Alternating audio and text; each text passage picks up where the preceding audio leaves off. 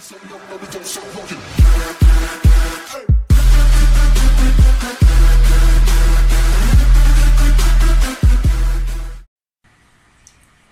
guys, it's Manga Reads, and just a quick word out there.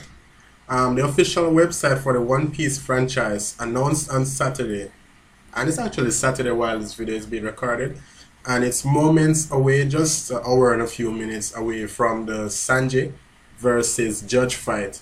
So, the official website for the One Piece franchise announced on Saturday that it has cast Hideyuki Hori as the character Vinsmoke Judge. Judge is the leader of the Germa Double Six and is Sanji's daddy, Papa. And the news goes on to says that Hori previously played the character Bartholomew Kuma in One Piece. Other roles include Phoenix Ikki in Saint Seiya, Shuji Itsuki in the Persona 3 anime film series, and Lord Jibril in Mobile Suit Gundam Seed Destiny.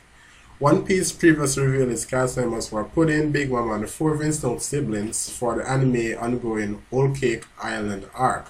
The anime entered the arc with the 783rd episode on April 6th.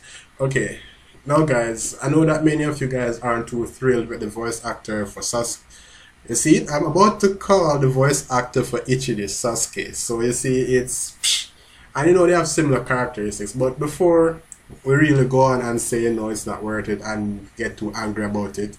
Let's try to give him a chance. And I know it's hard to get a first perspective. I know it's really hard, but you know what? Give him a chance.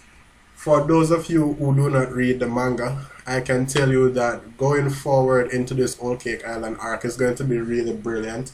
It's a really exciting arc, one of the best there will ever be.